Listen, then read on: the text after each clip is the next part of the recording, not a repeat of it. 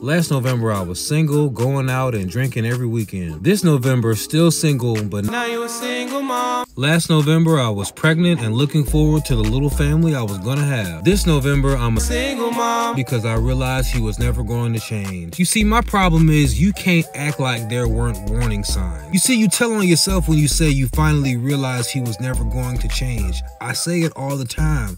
Guys don't turn into scumbags after they get you pregnant. You get pregnant with scumbag. Last November, he said he wanted to change for us. Estes pinches putas. Come on. Well, he's this, he's that. I know he was like that before he got you pregnant. They don't transform into Decepticons as soon as they get you pregnant. Bro is already like that. This November single, starting my new chapter slash era, will never be a second option again. Second option, but you giving this nigga churning. Alright, mm. men never change. That's what I've been saying. Last year, he got a DUI, restraining order put in place, hardly made time for the babies, cheater, press charges for DV. That baby's not that old. This baby's not that old. Got pregnant by